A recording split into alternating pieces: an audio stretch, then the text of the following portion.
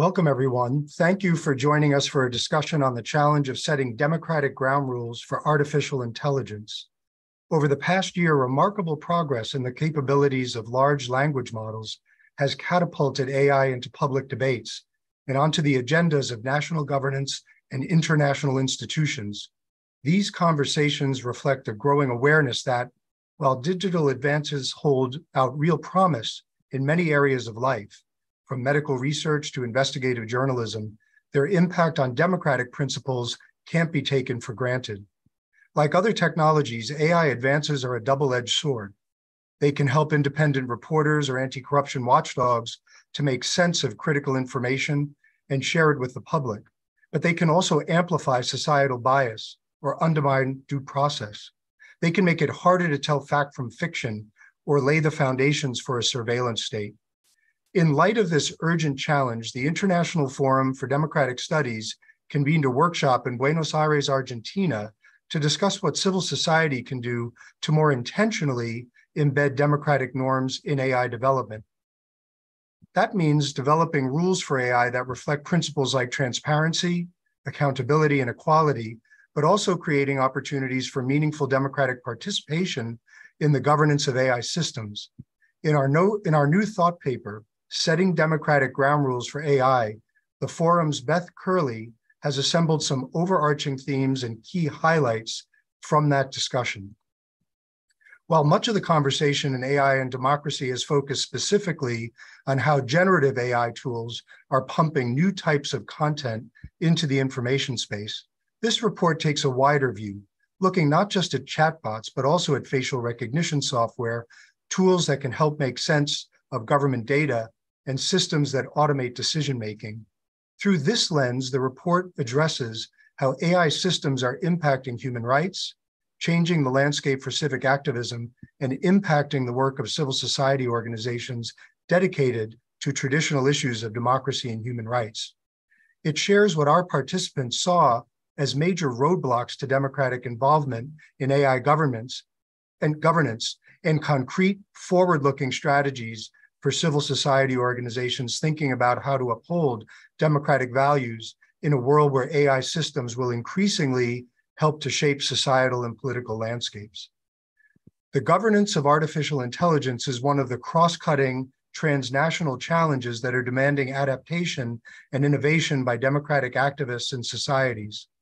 In order to meet the moment, the democracy community and its civil society partners will need to do more to foster the sustained sharing of knowledge and experience across regional and sectoral boundaries. They will need to raise awareness and deepen engagement in society at large, embedding digital development in the vibrant give and take of open democratic debate. Finally, they will need to create meaningful, durable incentives to counter the pull of authoritarian digital trajectories, which can all too easily prevail when levers pushing on behalf of democratic principles are absent in a context of global democratic backsliding and rising authoritarian influence, the potential abuse of AI technologies presents grave risks to democracy. So too do thoughtless deployments of these technologies, or the temptation to see them as a substitute for engaging with neighbors or constituents. A networked response, drawing on the reservoirs of knowledge and experience within the global community of Democrats, is critical to steer us towards a better, a better digital trajectory.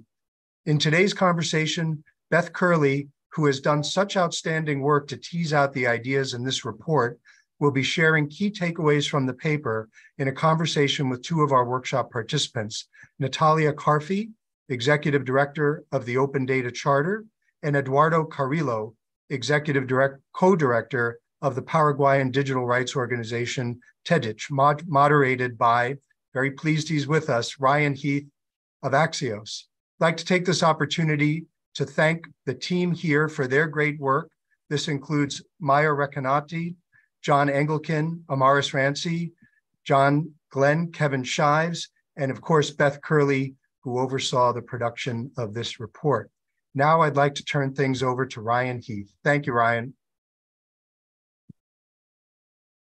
Thanks so much, Chris. Uh, it's a pleasure to be with you wherever you are in the world uh, tuning in today.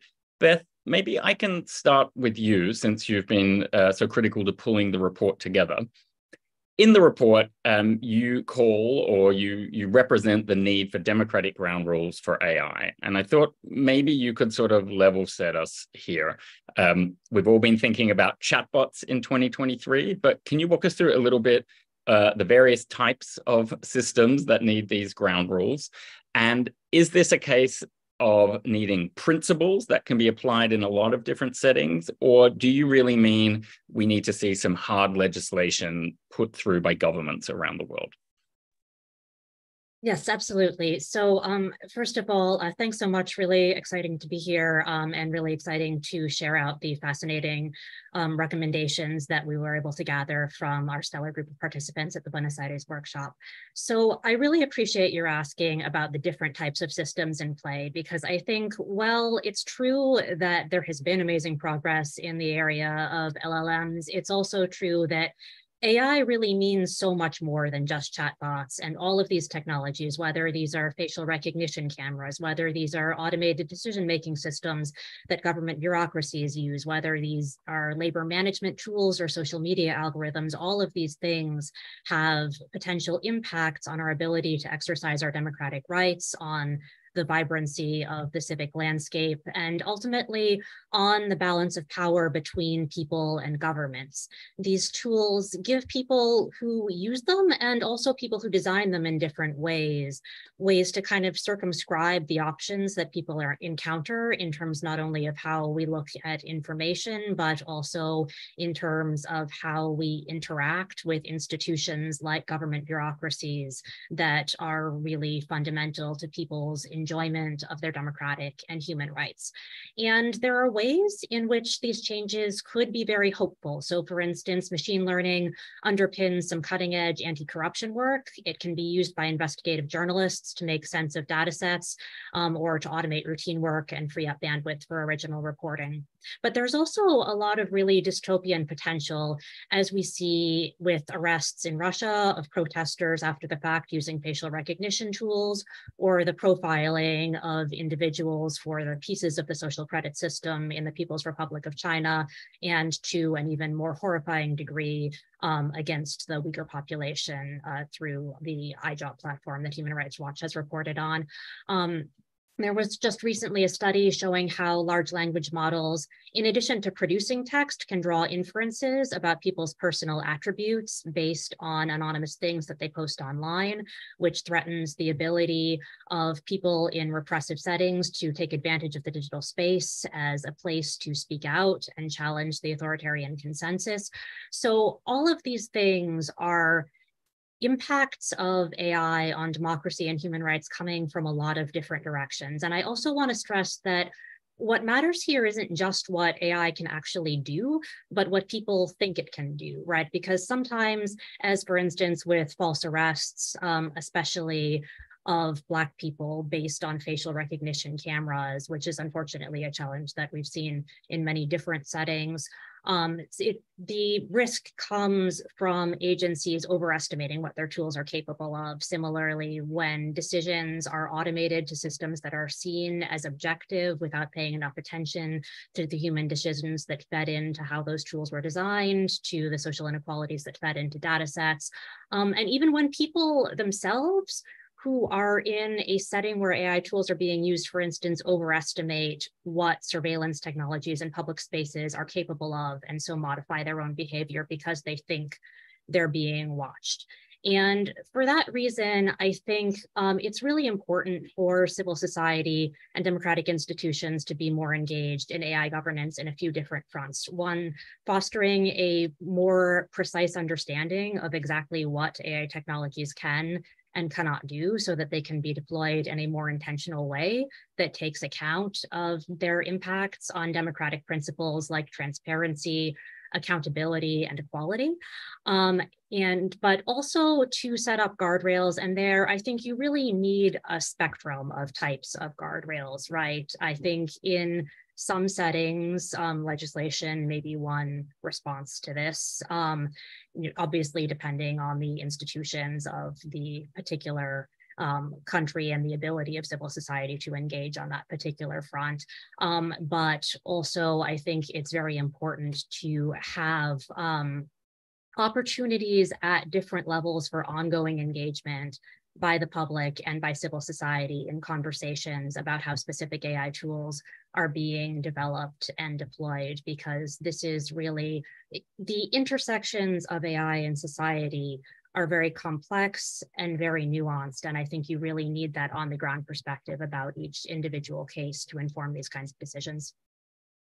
Thanks, Beth. Um, if I'll bring in Natalia and Eduardo now, at one level, um, it seems to me that AI has been uh, in use for quite a while now in a number of different settings.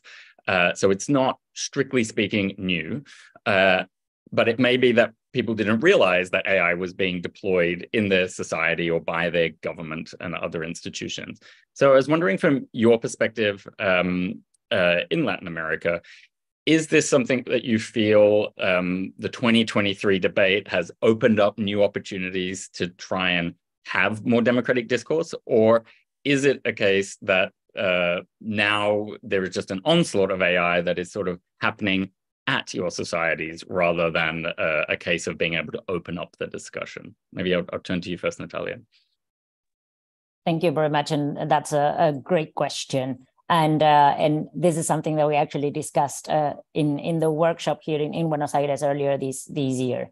Um, we've seen AI systems being being developed and being deployed both by governments and and, and private sector, but also um, somehow with, with civil society organizations. The the discussions, the global discussions on principles and governance of, of AI, of ethical use of AI, have mainly come from what is called the, the global north, um, so it's been an advocating effort for civil society organizations based on, on the global south or the global majority uh, to actually be able to participate in those in those ad- advocating uh, efforts in global forums. So there's there's many discussions happening at the same time. There's a discussion on, on AI in, in IGF that just happened in, in Japan. There's also the UN Digital Compact discussing AI.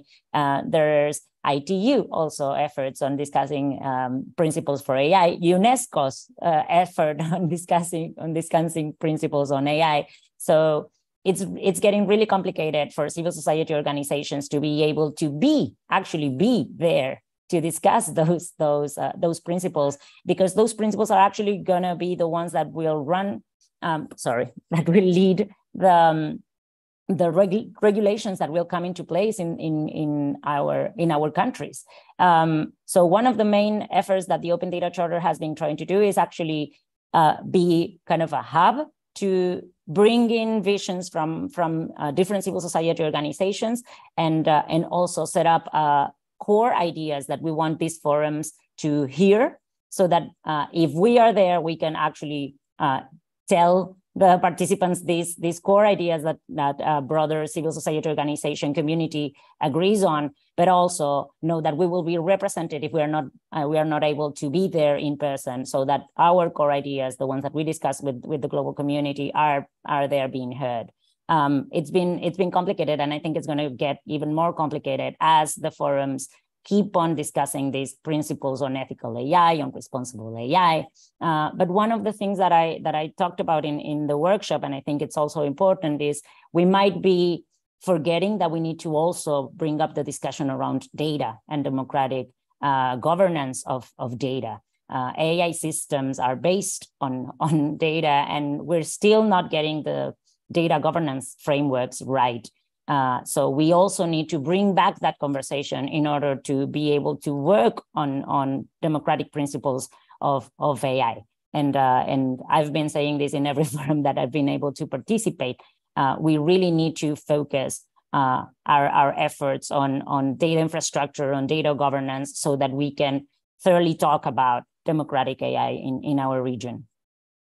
I see you nodding there, Eduardo. Um, it, you know, it's a reminder what Natalia is saying that the golden rule in AI is if you don't put quality representative data into a system, you're not going to get a quality democratic outcome from it.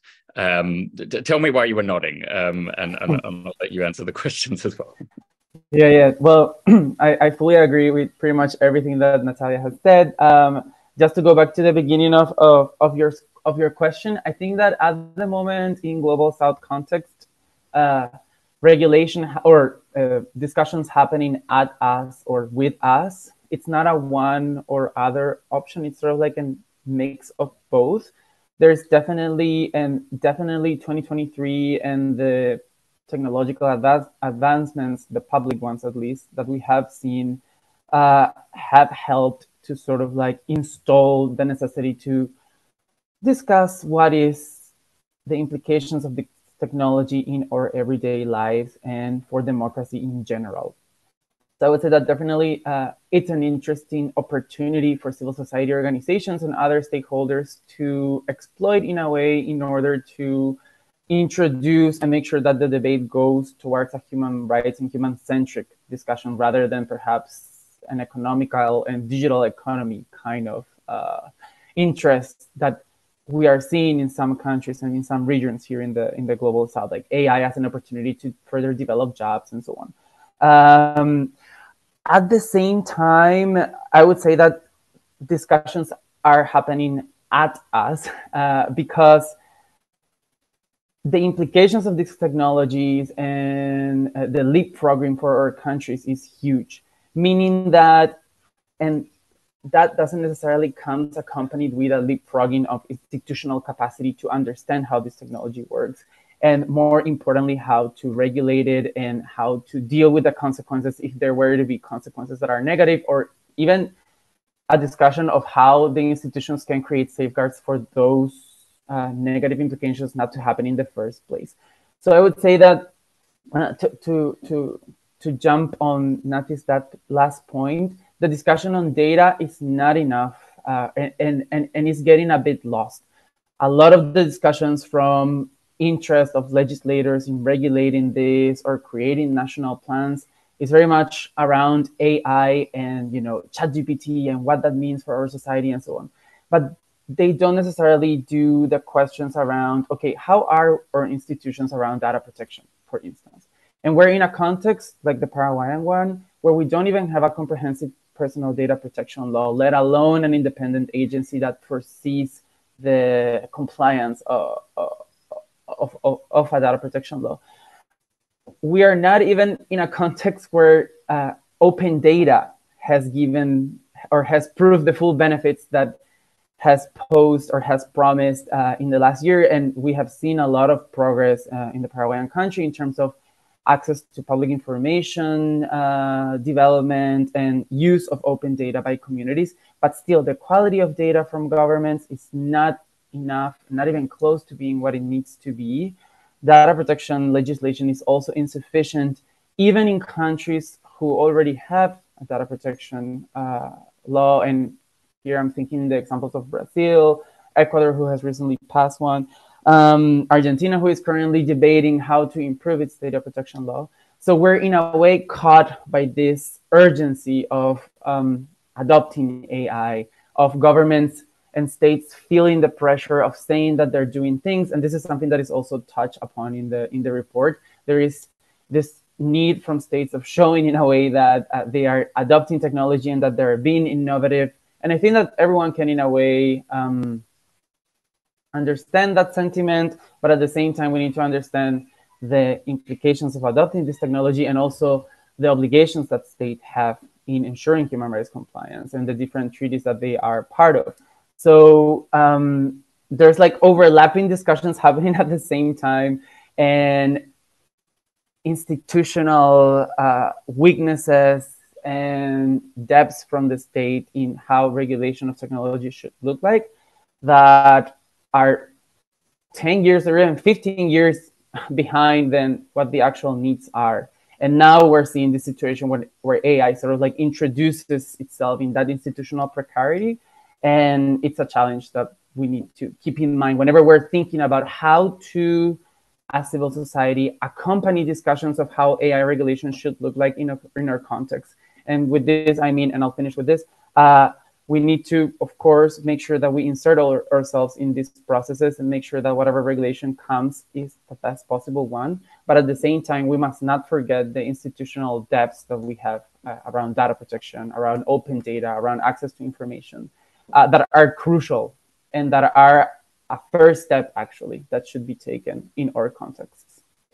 Yeah, it's there are many layers here to to unpack. That idea of institutional debt in these technical debates is a really important one, I think, because government and uh, democratic institutions are always struggling to keep up with the technical innovation. But it becomes even more important with AI because you start to face questions about how to ensure that humans remain in control. And you're constantly fighting this uh, tendency to think, oh, well, it's a very technical topic. So technical experts should be in charge of it rather than a broader discussion that involves non-technical experts who also have a stake in the, the situation. So with those thoughts in mind, I thought maybe um, we can talk, uh, unpack a little bit this question of how do you uh, not just keep humans in the loop, but what are the most effective arguments for getting civil society at the table, let's say. So, so Beth, to bring it back to you, one of the things I love in the report is this emphasis of humans and their role in AI. Um, you know, the AI can't exist without us. Uh, only people can be accountable. Machines, at least for now, cannot be accountable. Um, and, and, and that's something we always try and infuse into our reporting at, at, at Axios. So I was wondering, sort of, can you elaborate a little bit for us, sort of how the human dimension can help us to understand and use AI better? Yes, absolutely. So, I mean, I think there's two sides to that, which I really appreciate the way you asked that question. First, there's the fact that AI systems actually, regardless of whether or not we're intentionally thinking about this, involve human choices and human structures at so many different levels. And then there's the question of if that's true, how can we be a little more intentional in terms of how we think about responsibility and participation um, in those processes? Um, because I think we're going to see more and more cases, whether this is in government decision making, in the workplace, um, in the way we, I mean, it's already true, right, in the way we decide what information surfaces to the top, where there is a decision that's supposedly made by a machine but actually there was a human who made a decision about data selection. There was a human who made a decision about data labeling, who made a decision about design, refinement, about buying a model, about deploying a model. Um, and basically the AI systems just helps those different people maybe without all being aware of one another to turn human inputs into human outputs. So if we're going to embed these systems at junctures that affect our rights, we have to be thinking, how do we assign responsibility at different points along this chain? Um, and I, this was uh, something our group had very strong feelings about. We had one participant who basically just said, I don't like the term, you know, accountable AI, responsible AI, because yeah, the AI system itself um, is not where accountability lies. And that's a dodge, right? That's a dodge for companies, that's a dodge for governments. And I think what we need to do is make sure that the AI technologies that we use can provide an enhancement without providing a dodge. So ultimately, at the end of the day, there is someone who can be held responsible. Um, and I think um, some of these intersections, like the ways in which data sets can introduce biases into models, are pretty well known. I think the public conversation has maybe focused a little bit less on things like decision making around the procurement of AI technologies by governments. Um, but this is something that the forum has been looking at a lot in our Making Tech Transparent work, um, which I think is quite significant because sometimes looking at, for instance, relationships between governments and vendors of surveillance technologies can help us understand the logic behind those tools getting deployed in certain areas, not on others. And then finally, there's the question of um, the way context influences how systems work, right? And that could be on a very basic level. So when we have um, people we talk to who are actually trying to use AI for pro-democratic ends, they emphasize this off-the-shelf tool is not necessarily going to work if we don't have the right data infrastructure in place. But it also means that there can be unexpected harms. For instance, if you take a tool that was developed in a setting with strong data governance frameworks and a lot of public trust, and then put it in a setting where there's a history of the authorities abusing personal data for purposes of repression or discrimination. Um, and so in light of all of that, I think it's really important to first clarify these kind of intersections of human structures and human choices. And second, think about opportunities to broaden the group of people who know about them and the group of people who have an opportunity to actively participate. Um, and uh, Nadi might be able to tell you a little bit more about um, the question of how to broaden participation in the data side of this equation. Um, and, but I think also, um, you know, deepening public involvement in um, decision making around AI purchases and in decisions around development and doing that at an earlier stage, right at the beginning when these conversations start and not here's a tool or here's the law, what do you think about it? Um, I know that was something that was quite important to the group. Yeah, it really feels like we've we've got to be in at the ground level, whether that is responsibility or privacy or safety by design. You know, if you don't if you if you don't get in at the first step, things get so much harder. Um, Nadi, what's worked for you? How how have you been most successful in getting to the table and and having that sort of input at an early stage? Yeah. So Ryan, that's that's a great question, and the Open Data Charter has done a, a research project. We are actually uh, going to uh, introduce our, our final report on that uh, next month. Uh, but the idea was to try to understand and, and observe the application of AI in development challenges. And we, we researched on two specific domains in agriculture and, and healthcare in the global south.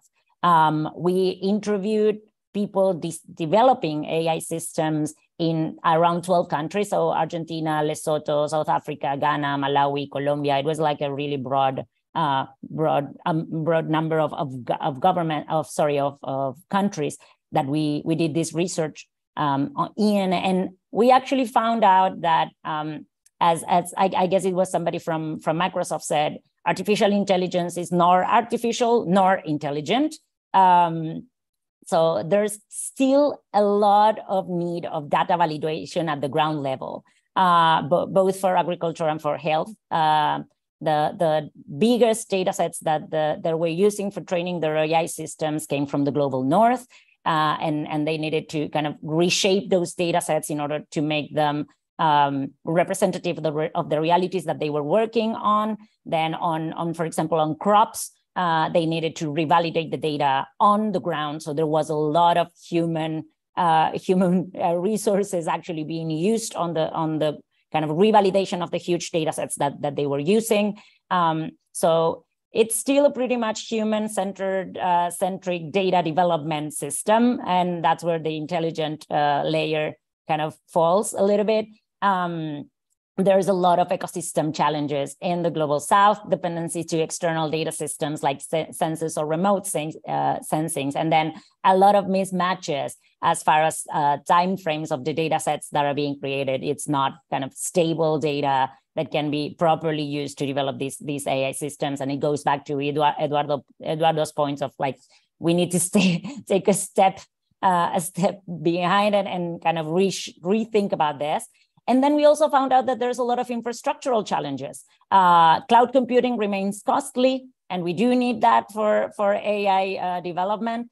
Um, and then infrastructure challenges like band, broadband uh, access, equipment, skills, labor. Uh, there's still a lot that we need to unpack before we can we can fully um, fully kind of use or develop AI systems. And these are all things that do not have to do specifically with, with governance or frameworks uh, or, or uh, principles. This is like ground level discussions that we've had with people in, in these 12 countries. Um, and anyway, they were trying to develop AI systems anyway to try to understand if they could, through AI development, um, yeah. work on, on, on, um, on trying to solve public problems or even trying to develop new businesses that is a super interesting point, um, Eduardo. I'd love you to sort of um, give your perspective on it as well, because sitting here in the global north, one of my thoughts is, oh, okay, well, now we have open source models that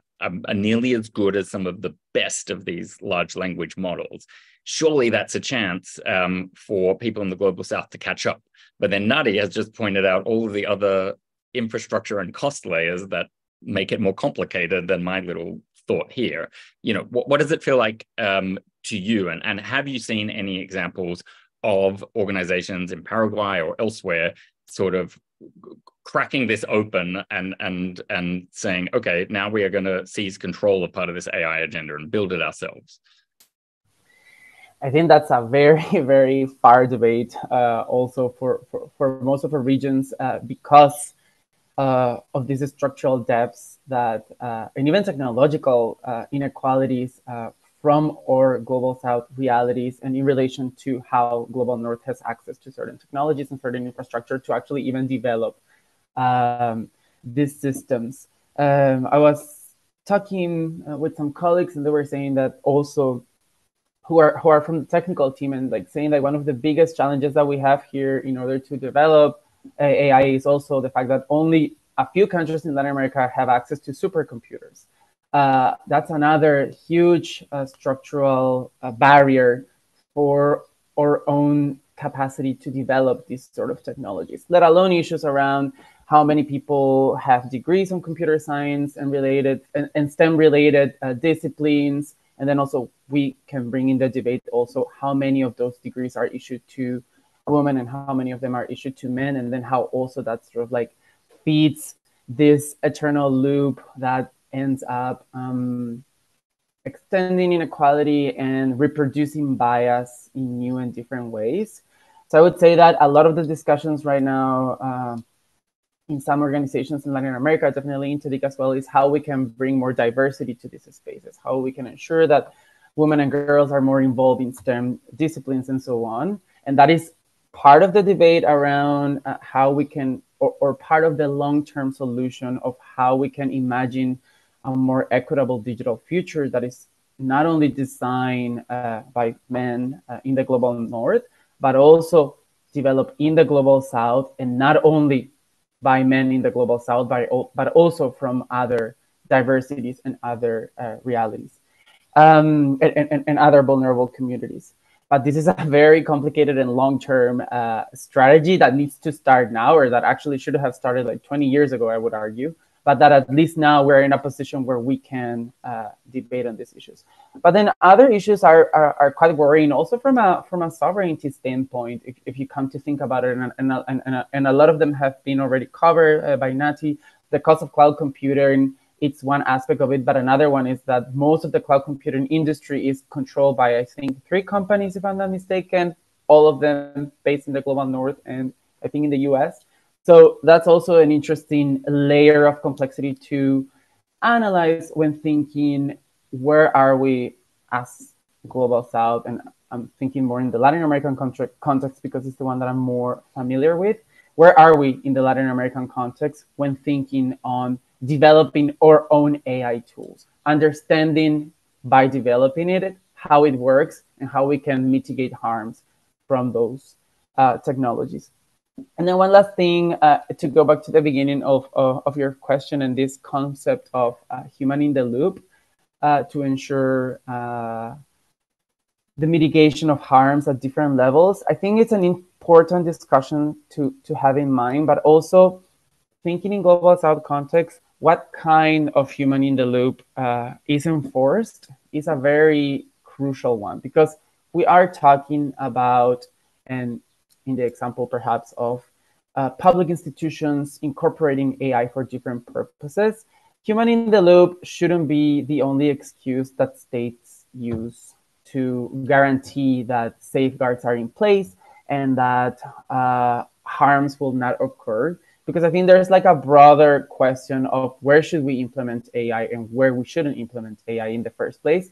And human in the loop is not enough uh, to to to let's say wash or AI wash uh, the deployment of, of that technology in the public sector and in issues such as facial recognition for for mm-hmm. security purposes, which is one that is very, I would argue, connected to the issue of democracy and AI, but also other issues such as uh, analysis of, uh, of, of judicial documents to further automate the way court rulings are um, produced and other uh, worrying examples, I would argue.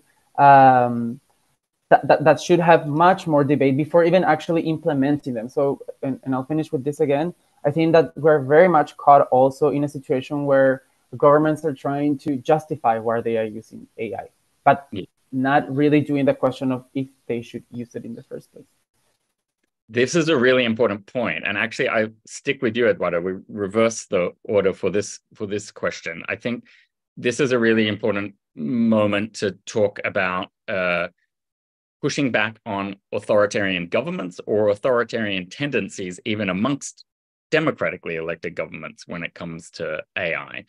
And I think we have all learned the hard way from the development of the internet and smartphones that authoritarian uses of technology, you know, it's, pr- it's pretty easy to adapt a technology that has the potential for freedom to make sure it doesn't deliver that freedom.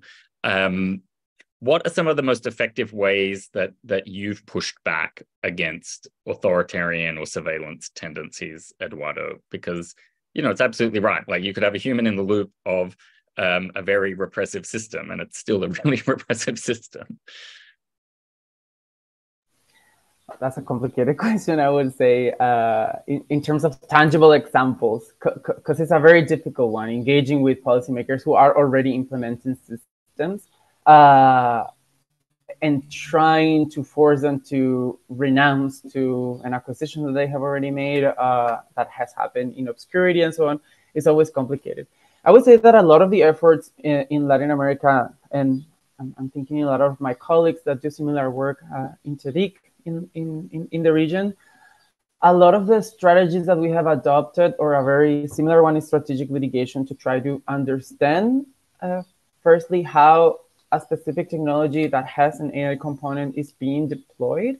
And from there on, on the one hand, uh, aiming at the judicial power to actually even execute its interpretation muscle of how these technologies impact human rights in general. And from there, trying to, to, to build a narrative as to why um, this technology should be reversed or what kind of safeguards could potentially be um, adopted to better ensure human rights compliance. Uh, a lot of the strategic litigation that is currently happening in religion eh, in the region is related to facial recognition technologies implementation in the public space, in borders, uh, even in stadiums. So then we're talking about different layers of actors who are implementing this technology, and thus different strategic litigation uh, strategies coexisting at the same time. Some of them targeted to the private sector, some of them targeted to to the public sector, all of them with the same goal of shedding light of how this technology works in the first place. But this sort of like connect us to to to to the broader structural depths that we have, uh, both regulatory, both enforcement, and so on. Um, because at least in the in the facial recognition example, for instance, uh, a lot of the like the situation that in Paraguay ignited the, the, the need of a strategic litigation was because when we ask public information as to why a system was being uh, deployed and what were the technical specificities and who were the actors behind it, or request for information was denied on national security grounds. So that's sort of like the process that ignite us to counterback that narrative and counterback that denial of a request for, for public information and start a strategic litigation. So again, I feel like it's an endless loop uh, that we're caught at the moment uh, in the region that now AI itself itself and, and, and adds a new layer of complexity. And I would say that another one that perhaps for some might feel a bit basic, but I would argue it's not at all, is how uh, we as civil society, and especially I'm thinking, taking a lot, a lot of examples that we have here, we do have a very particular attention in developing capacities and co-develop capacities actually with journalists. We need to make sure that this alliance between civil society organizations and journalists uh, that cover technological issues and that have a voice in the public space have at least within their options of arguments when when they're covering technology issues the human rights aspect. Because now a lot of the or, or, or most of the narrative in, in, in local news outlets in, in local media uh, and the traditional one at least is very much uh, caught up in this idea of yes ai brings efficiency uh, or digital technologies in general, I would even argue, to, to go even beyond AI, brings efficiency and brings benefits to a population, uh, and they don't necessarily go in depth into analyze the technological implications of adopting XYZ technology for a given purpose with more nuance and with human rights uh, as the core guiding uh, methodological framework to analyze it. Um, so I would say this could be, I would argue, two interesting examples that are already happening and that are actually mentioned in the report because a lot of the work that we do is synthesized uh, in that report very likely and for people to to to to know about it. Thank you. And Nati do you have um, any examples in your work of uh, institutions or countries where there just isn't that debate about do we need this? And then we're already too stuck into pushing back or or making it a slightly less worse version of the AI rather than than deciding do we actually democratically want this or not? So it's a it's a good question, and I'm just gonna I think uh, double click on on on Eduardo's points. Uh, so one of the one of the cases that is very well known here in in Buenos Aires city where I'm based um, has to do with the fugitive uh, facial recognition system that was set up by the Buenos Aires uh, city government. And then through strategic, uh, strategic lit litigation, two civil society organizations were, were able to make that system uh, be shut down. Um, and and of course, I think this goes back to, to the comms bit of it. And we discussed this broadly in, uh, in, in the workshop. And I think it's important. Um, there were voices uh, in in citizens uh, that that were saying like, why do we want this to be shut down? Because um, it it brings in safety for us because if if something happens, uh, we will be able to to see who did it and recognize them. So the comms bit of it. Uh, outside of the technical community, of the most engaged community in these discussions, is very important, and we really need to work harder on on that um, because it seems like the broader citizenship knows about uh, AI systems that are already running when something goes wrong. Um, but then, if not, there's like no news around it. Uh, governments are deploying AI systems, and and nobody actually knows about them uh, until something like it goes in major, like major newspapers or something, because it actually went wrong. Um, so we need, we also need to to work a lot on that and that is something that that uh, from the Open Data Charter's uh, perspective is something that we want to work mo- more on um, because as, as as i said we come from the data community into the ai discussion. And and as we are a global civil society organi- organization we think we can add value to to that discussion. But this is something that we actually discussed a lot.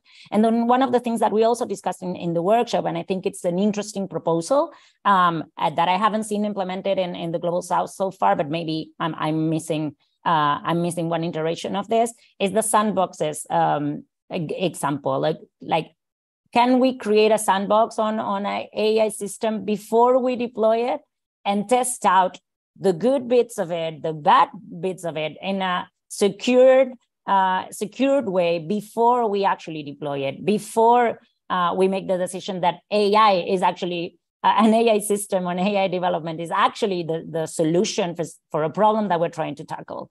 Uh, kind of AI should be the means towards an end and not the response uh, within itself. So maybe trying to set up this, if it's sandboxes, is a sandbox, if, like a secure testing environment where we can work on on the regulatory framework, but also on on the technical bit of it, the data bit of it, uh, before we actually make a full-on implementation that impacts citizens in ways that that we do not know and have not seen.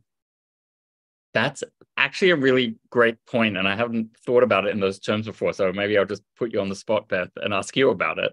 This idea of um, testing things before they're sort of used or inflicted upon people. Uh, you know, like that, that's a very that's a democratic principle, isn't it? That you know we should know whether things are safe and effective before they happen to us, rather than scramble to limit the damage after they happen to us. Is is, is that something that we really need to be investing more in um, with AI?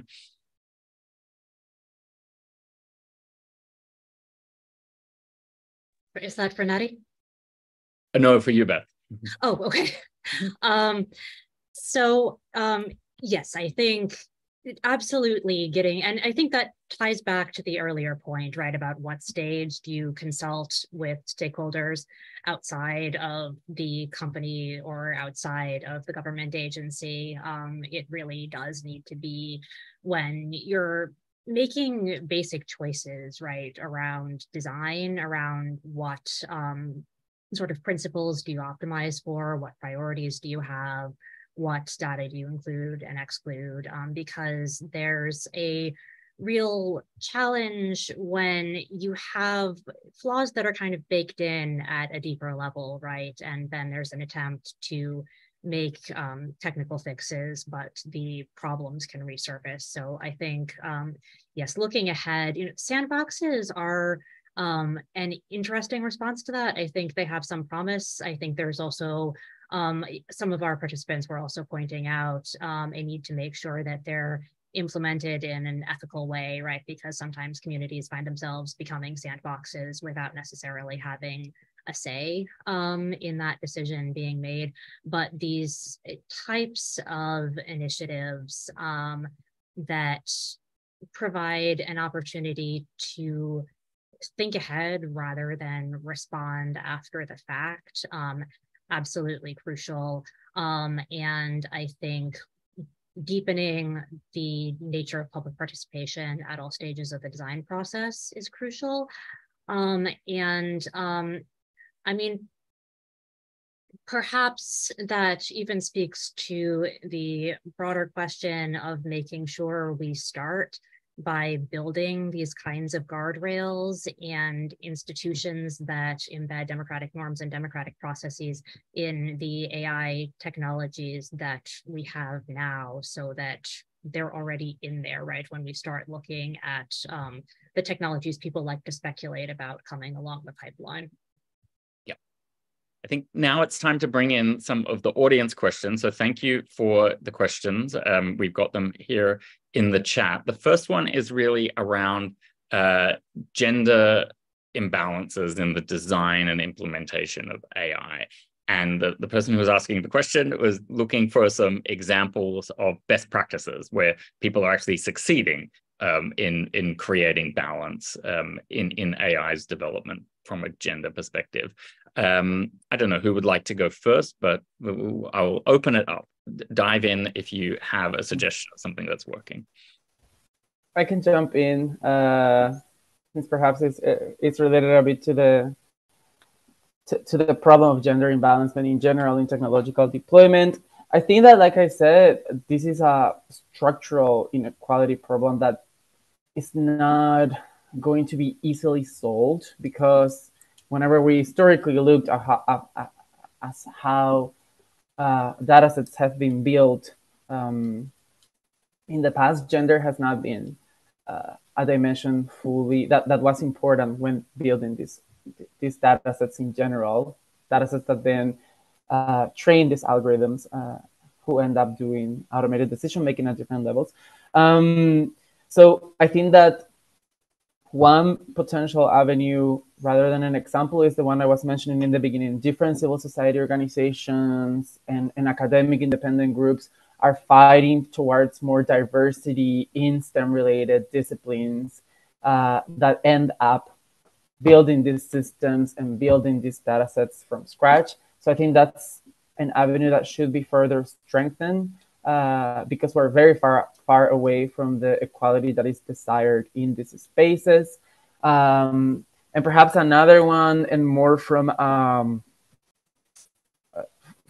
from a short-term perhaps solution is a, a, bit of what Nati was saying. That sandboxes is an interesting um, regulatory avenue that could perhaps help mitigating harms to some of these vulnerable communities and decrease perhaps the negative effect that deploying an AI system uh, could have for vulnerable communities that are, let's say, impacted because of this gender imbalance in how datasets and design and implementation of AI has been enforced so far. But just to, to also add to that point, whenever we think about um, sandboxes, I think that is very important that the community consultation to that is going to be subject of that sandboxing is very much factored in because so far and at least in the sandbox debate and i'm happy that that is also part of what has been mentioned in the report uh, is that there doesn't seem to be an institutional way in which one consults with a community their desire of being subject to a sandbox that will then feed uh, a broader national implementation of a given technology. And I think that's also an important aspect to have when thinking if the sandbox that is going to be implemented in a given community or in a given group of people is related to vulnerable communities in the first place.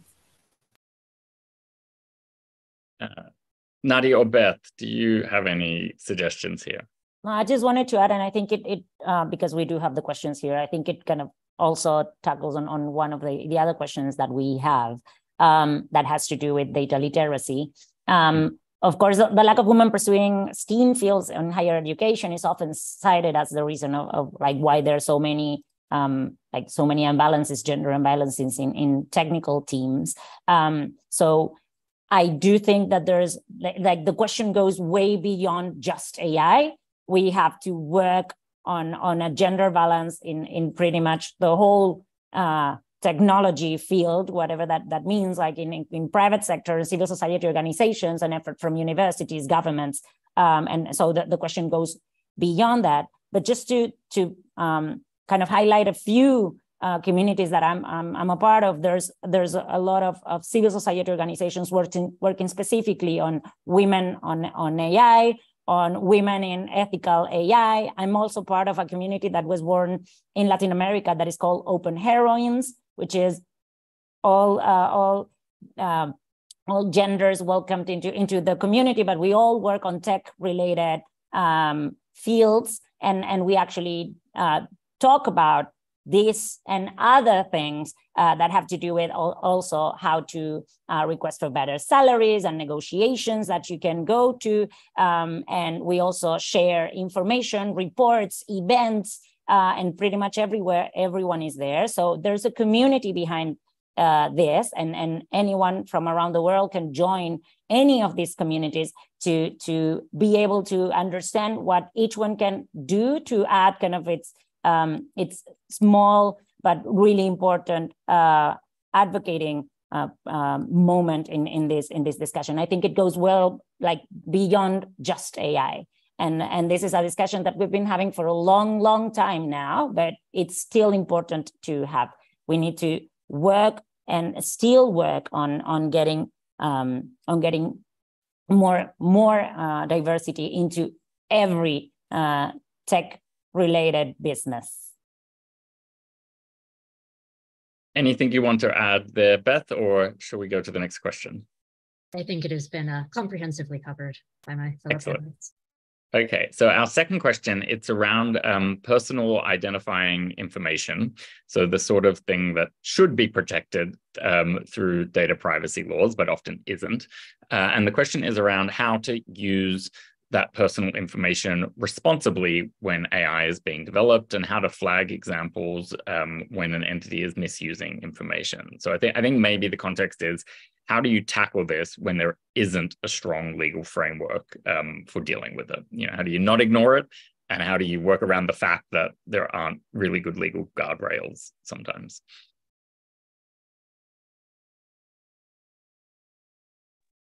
So maybe I'll throw out a few thoughts um, and then um, some, um, others here who have a little more expertise in this can follow up, but just to um, begin, first of all, um, I think sometimes groups working in settings that do not themselves have strong data protection and frameworks do use the GDPR as a reference point. Um, so that's one thing, right? There are frameworks around data protection, even though the issues raised by AI systems are new.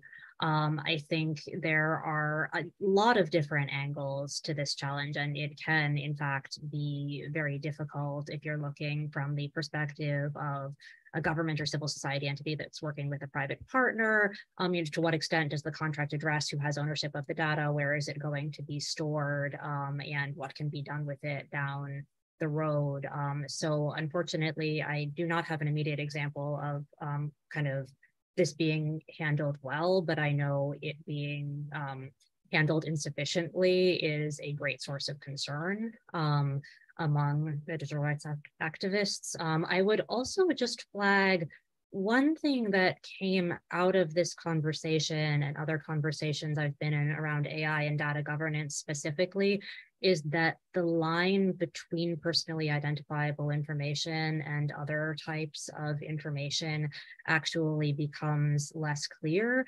because you have models that are able to take information like your location, right? And then figure out um, who actually this data set belongs to mm-hmm. without having acquired any of the indicators that are traditionally considered personally identifiable information. So um, a, this is a very pressing challenge, but B, I think it's a challenge that needs to be kept in mind when dealing with a really broad swath of types of data about people, not just a discrete category of PII.